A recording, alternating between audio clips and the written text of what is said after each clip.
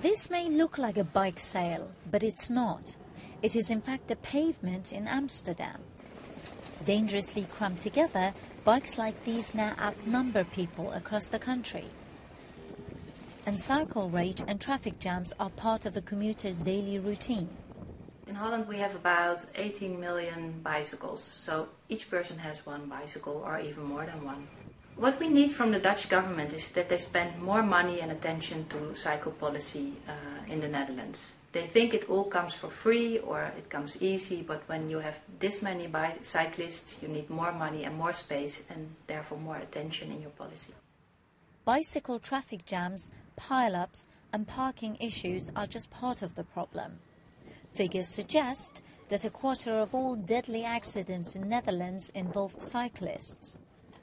The Central Statistics Office says 200 cyclists died on Dutch roads last year, the majority of them elderly. Het is ontzettend druk hier in de stad, in Utrecht, uh, voornamelijk met uh, veel fietsers, zeker in spitsuur. Dan als iedereen op een bepaald moment uh, op een bepaalde plek wil zijn, is het ontzettend druk. With a population of just 17 million, Holland is a country which has more bikes than people. It now seems the government may have to create a solution for bike congestion, just as bikes were introduced to reduce car traffic. Marzia Mashkouri, BBC News.